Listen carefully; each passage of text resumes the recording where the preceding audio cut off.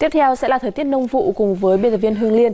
Chè vụ xuân ở miền Bắc thì vốn được thị trường ưa chuộng bởi hương vị đậm đà, màu nước xanh, hương thơm mát. Vì vậy mà thời điểm này thì bà con trồng chè cũng đầu tư chăm sóc cây chè hơn. Vậy thì thời tiết trong những ngày tới ở đây ra sao chị?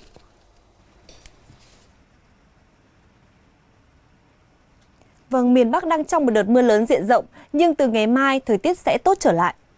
Dự báo từ ngày mai đến ngày 18 tháng 2, miền Bắc sẽ tạnh giáo cả ngày, sáng sớm có sương mù nhẹ, trưa chiều trời hửng nắng ấm và nhiệt độ tăng lên 22 đến 26 độ. Với khu vực Tây Bắc thì có thể đạt mức 25 đến 28 độ.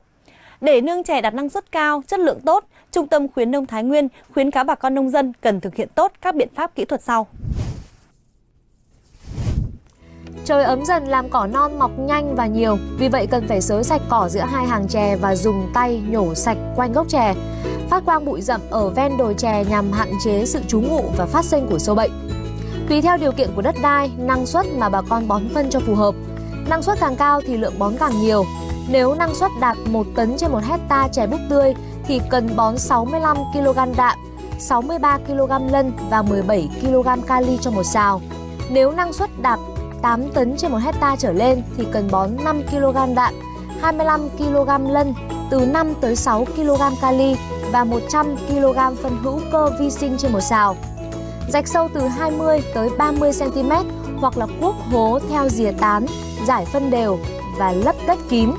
Lưu ý là những diện tích chè đến thời kỳ bón phân hữu cơ mà cuối năm chưa bón được thì cần phải bón bổ sung vào đầu năm khoảng là 1 tấn trên 1 hecta và trộn đều với số phân trên để bón.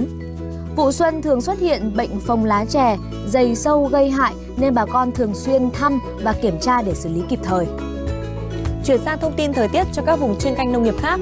Khu vực Bắc miền Trung dự báo hôm nay tiếp tục có mưa rông và nguy cơ lốc xét mưa đá, gió giật mạnh. Từ ngày mai đến ngày 15 tháng 2, trời sẽ giảm mưa, trưa chiều có nắng, nhiệt tăng lên 23 đến 27 độ. Với khu vực Tây Nguyên, một tuần tới chưa có nhiều thay đổi, trời nắng cả ngày, nhiệt độ cao nhất 27 đến 30 độ.